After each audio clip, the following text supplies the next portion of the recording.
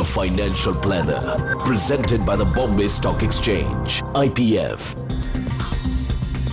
Welcome to a brand new financial planner. Over the last couple of episodes, if you've been tracking us regularly, you would have known and you would have also picked up the basics of financial planning, how to save, how to budget and then how to invest. From now onwards, we decided to include a very special segment. We'll start talking about the stock markets. What are in the bourses? What are some interesting shares throughout the day on the business news channel? We talk about buy this share, sell this share, hold this share. But what does it actually mean if you're an investor, if you're someone who's not really dabbled in the stock markets, what are the things that you should know? And really, uh, is this something that you should be getting yourself into? Remember, this is not a get rich quick show. We're talking about how you can make some smart decisions with your money. And always remember that to create wealth, you have to do your homework and you have to stay invested for the long term. Well, with all of that out of the way, let me introduce myself. My name is Smriti Rao and uh, with me I have certified financial planner Sumit Ved. Sumit, it's great to be back. Thanks so much for coming on. Pleasure and, and really looking forward to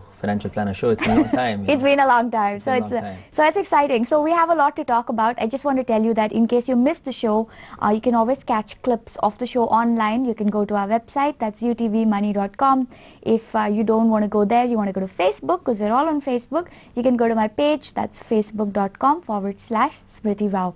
Remember, we love your emails. I love to read them. You can email me at financialplanner at utvmoney.com. So let's get started, Sumit. And uh, I want to sort of start talking about the stock market. And I know a friend of mine, she's really interested in the markets. Uh, she's pretty smart. She's, you know, young, has a good job. And she tracks the economy. So she, she knows what's going on with Infosys. She knows what's going on with Larsen and Toubro and all of these big name companies. And she says that, look, I want to get in with the action because I know these companies are doing well. I know Sure. the economy is doing well. But how do I participate in not just the, the the company's growth but also how can I use my extra money to be part of that growth? And this is where the whole concept of shares comes in doesn't it? That you as an investor can say look I like this company. I would like in some way to be part of it. And uh, can you talk about how you can do that via shares and explain the whole concept of shares to us Sure, I think uh, it's very, very relevant and very topical uh, these days to talk about shares or, or equity as an asset class in Indian market context. And it becomes much more relevant today, uh, especially seeing the way India is going. You know, there's a structural shift which is happening in India as a country, India as economy. We are moving from a developing economy to developed economy. Whenever that happens, the gross domestic product, which is basically the growth uh, indicator of a country, goes through a very steep rise, uh, uh, which is in, in stock market language known as secular bull run. Right. And when that happens, you know, the underlying equity investments or share returns or uh, shares of companies give very good return.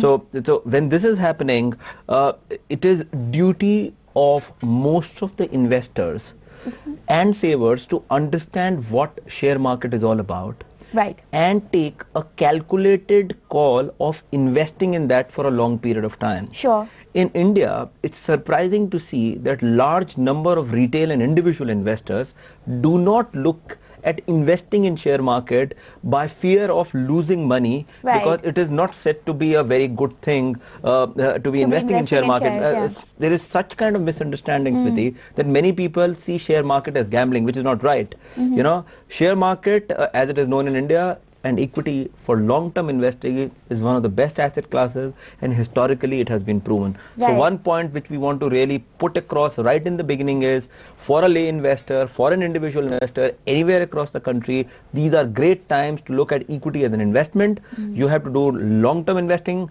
and you have to understand what equity is all about. Right, which is, you know, it's interesting that you bring up the point about, you know, the mindsets that we have towards True. shares. And it's true, a lot of middle class Indians would actually approach the uh, markets thinking that, look, I have X amount of money, I don't want to put it in there, it's very risky. It's almost like taking a gamble on stump, something True. that you don't know.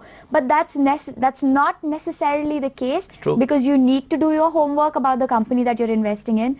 That is on the fundamental side and on the technical side, you know, you need to sort of learn to read those charts True. to know what sort of opportunities lie within that company itself. But I want to ask you, if I'm a company, what do these shares represent for me? What does it mean? Uh, uh, can you talk about that? Sure. So, so as as a company or as any business, I require money or funds to grow the business or run my business.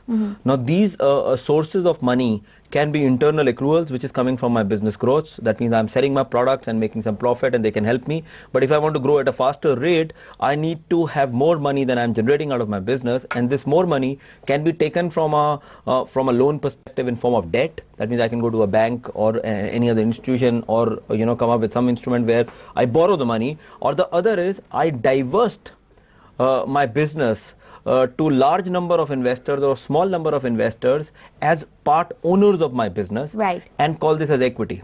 So so if- if- equity is all about owning the business. Right. So if you have a great business idea Yeah. and uh, and I'm interested in your business, and I'll say, look, Sumit, I really like your idea, so just give me some ownership, True. and that way, you know, you say, okay, you give me your money, Smriti, and I'll give you this piece of paper, which is a share. True. In quite simple terms. True. So, so as a, as a shareholder, you are a part owner of the company, and and uh, uh, as a part owner, you will enjoy the benefits of the growth of the business, Right.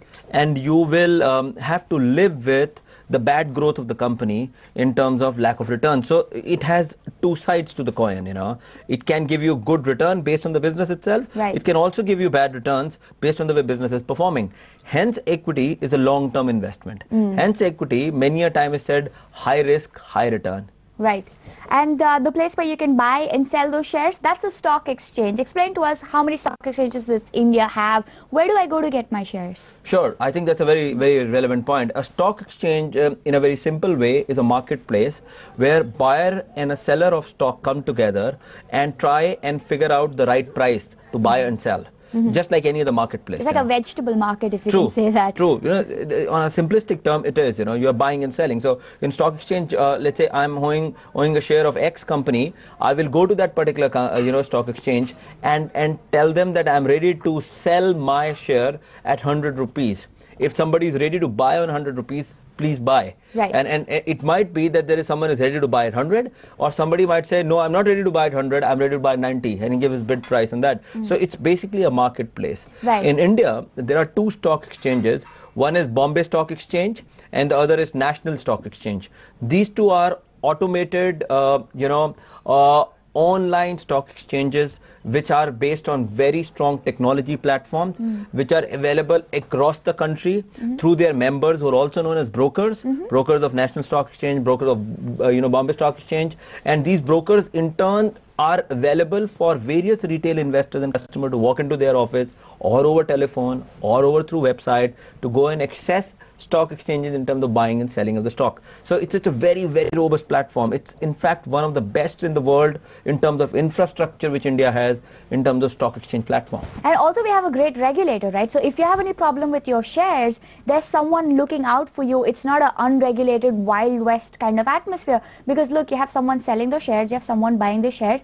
There are bound to be problems that crop up at some True, point. and, and it's such an important point, uh, Smriti. As a financial planner, we keep highlighting. Hmm. In India, just for the sake of example, you know, most of retail investors and families are very comfortable with real estate. Yeah, because they buy land. Buy- yeah. you, they understand flats, they understand real estate, they understand mm-hmm, houses mm-hmm. itself. There is no stock exchange or there is no real estate exchange where you come to know what is the right price of this house. Uh-huh. Somebody says this is the price, you agree. Yeah. It's a complete demand and supply and it's opaque. Mm. Not only it has a price finding mechanism, there's no price finding mechanism, there's no regulator. Sure. Where should I go? Whereas versus that, in stocks, you have a stock exchange platform which is hmm. very transparent, easily available. You can dominate in you know very small amounts, hmm. and you have a regulator as active as SEBI who is there to take care of retail investors. So I think it's, it's fantastic. All you right. need to take access to stock markets. Okay, so I think uh, I think during the course of this conversation we've established that stocks and shares are not a bad thing. All you have to do is do your homework. Just be very careful about the companies that you pick, and also you have to make sure that you track your uh, investment, as it were. And if there are any problems, remember you always have SEBI to go to to talk about those problems. With that, let's take a quick break. When we come back, let's get back to addressing a query that came in from a viewer. We'll talk about that right after this. He wants to know whether he should invest his money in land, like Sumit pointed out, or whether he should go to the stock markets. More about that after this.